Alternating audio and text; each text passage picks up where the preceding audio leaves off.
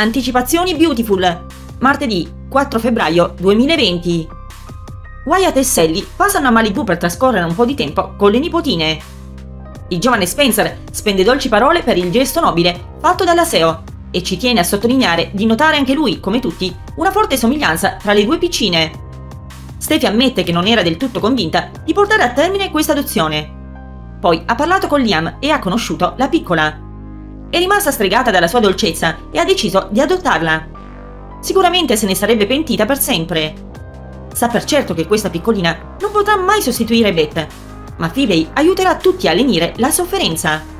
Zoe e Xander si scambiano tenere fusioni negli uffici della Forrester Creation. La modella poi gli parla di Flo, un'amica del padre.